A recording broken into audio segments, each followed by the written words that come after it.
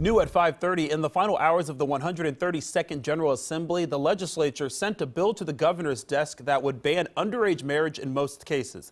NBC4's Ohio State House newsroom reporter Jason Aubrey took a look at the issue and found girls as young as 14 years old have recently been allowed to marry men much older than they are.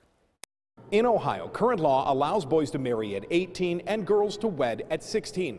But with the permission of their parents and a judge, children can marry at any age. Now, if signed, a new law would eliminate underage marriage almost entirely. If you don't think the very young are marrying full grown adults in Ohio, you'd be wrong. From 2000 to 2015, 4,500 underage girls and 300 or so boys were part of an underage marriage. One case Representative Laura Lanese cited was the marriage of a 14 year old girl to a 48 year old man. That was approved by a judge and by the parents in Ohio, and that's sort of the impetus to trying to prevent this because we know it's happening. This prompted Lanese to put forward a bill that requires you to be 18 to get married in Ohio, regardless of gender, with one exception.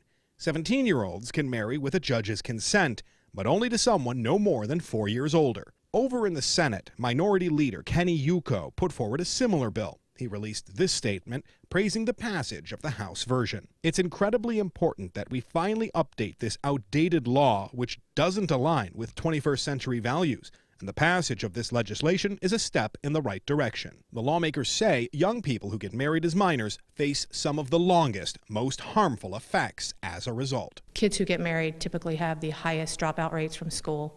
They, um, they have incredibly high depression rates. Um, and just troubles all along the lines. Representative Lanese says there have been cases in other states where children have been sold into these underage marriages. And she says if it's happened in other states, you can bet it's happened here.